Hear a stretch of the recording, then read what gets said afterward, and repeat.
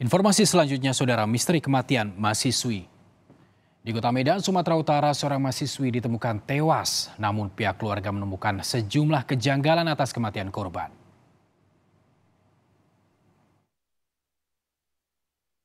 Mahira Dinabila, seorang mahasiswi Universitas Sumatera Utara ditemukan tewas di rumahnya di kota Medan, Sumatera Utara. Keluarga Mahira mencium kejanggalan atas kematian buah hatinya. Pada 3 Mei lalu, jenazah korban ditemukan dalam kondisi yang tidak wajar oleh pamannya. Selain itu, rumah tempat kejadian perkara tergembok dari luar dan surat wasiat yang diduga dipalsukan.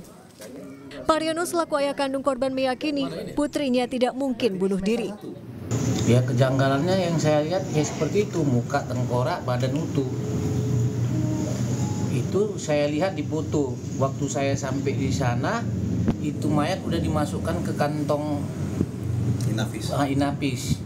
Nah, bahwasannya ini mati nggak wajar kalau saya lihat banyak kejanggalan-kejanggalan. Saya lihat ini anak baik betul tahu saya benci walaupun saya tidak diperjumpakan. Sejak 2020, korban tinggal seorang diri di rumah ibu angkatnya yang telah meninggal dunia. Kasus kematian Mahira kini masih dalam proses penyelidikan polisi.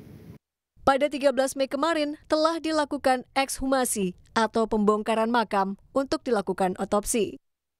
Dedi Zulkifli Tarigan, Kompas TV, Medan, Sumatera Utara.